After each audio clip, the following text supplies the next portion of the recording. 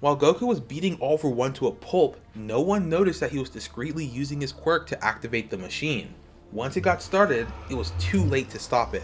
Goku attempted to destroy the entrance while Vegeta and Tensei attempted to pull Tarble out. However, it seemed as if there was an electric barrier that prevented any interference. Goku went back to All for One and demanded him to tell him how to turn the machine off, and All for One just laughed. Goku proceeded to break his fingers, yet All for One continued to laugh. The portal then appeared, and three figures walked through the machine. What if Goku was in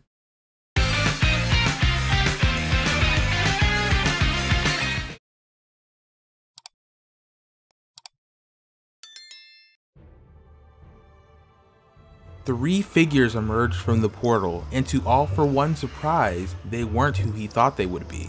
They were all versions of Goku. All for one was so confused. He was sure his plan would work. He knew that in his weakened state, he wouldn't be able to take them all on right now. He had to escape and find a way to get rid of them another time. Before he warped away, he made sure to bring Tarble with him in hopes that he could continue his research and find a way to make his dream a reality. All for One had been in a lot of high stress situations before, which is why he was able to process everything so quickly and get away while Goku, Vegeta, and Tensei Ida were all distracted by the three Gokus who came out of the portal. Once All for One and Tarble were gone, the portal turned off by itself and now Goku, Vegeta, and Tensei were left with a new mess to deal with. Vegeta decided to look around for other abandoned places where All For One would potentially hide out in in order to find his brother, stop All For One's plans, and hopefully save his parents. Meanwhile, Tensei Ida decided to analyze what All For One left behind to see if he left any clues. That left Goku to babysit the other Gokus and explain to them what was going on. He invited to bring all of them over to his house and explain everything. The Gokus were a bit hesitant at first, but they decided to go along with him because they couldn't deny that trustworthy face. Back at Goku's abode, it got a bit cramped, but everyone seemed to manage just fine. He then explained All For One's plan to bring multiple versions of himself to this universe so they could work together in order to conquer the multiverse. However, the machine must have malfunctioned because it seemed like a bunch of versions of Goku were brought through instead. In order to keep track of everyone in an efficient way, the Gokus decided that they should number themselves off. Goku 1 is the Goku who resided in the correct universe. Goku 2 shared a bit about his backstory with what would be known as the Council of Gokus. He was from an alien race known as Saiyans but was raised on Earth after planet Vegeta exploded.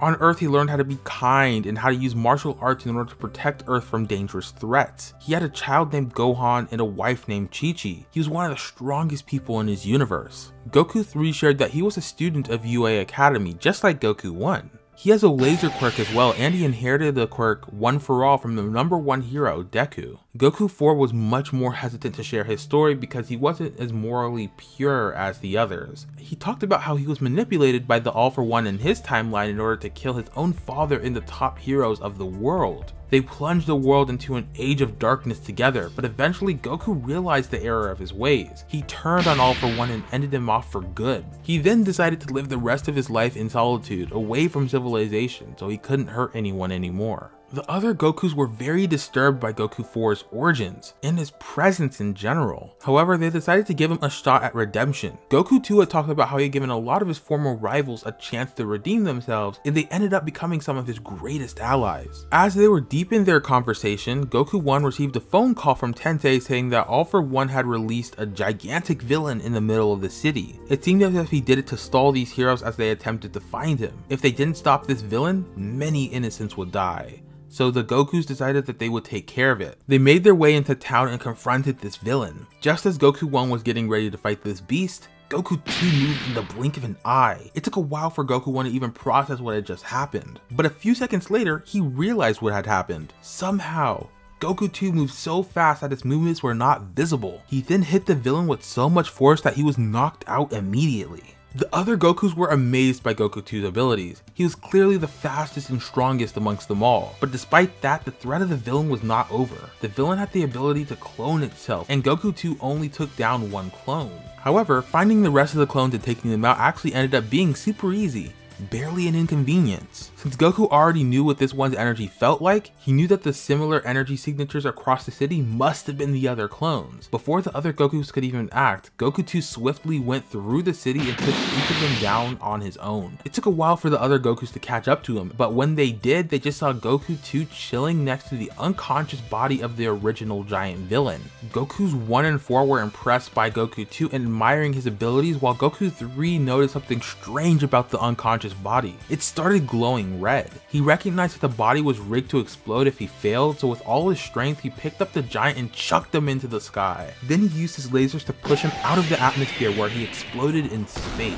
After all this, Goku 1 realized he had nothing to be afraid of anymore. It was only a matter of time before All For One was found, and he had very reliable teammates who could back him up in the fight for the multiverse. While the Gokus were temporarily distracted from celebrating their complete victory of this small battle, a sudden laser came and pierced through Goku 2's chest. Goku 1 immediately looked for the source, and it was from Goku 4.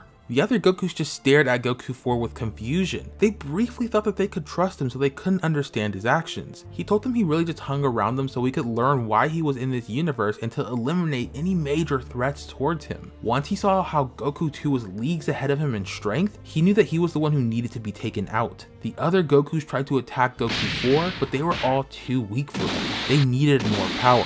But the real powerhouse was down, and he showed no signs of getting up. Goku 4 decided he was done messing around with these weaklings, and he decided to go for the kill shot. Goku 2 used the last of his strength to teleport everyone but Goku 4 to Tensei Ida. He was seconds away from dying, so he told the other Gokus to make sure his body got back to his Earth. He passed away before Tensei had time to treat him.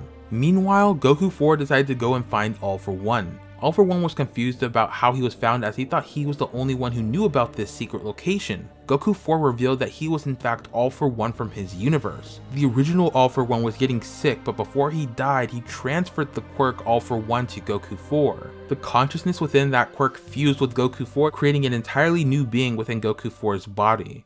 He became All For Goku. Like and subscribe for part 5.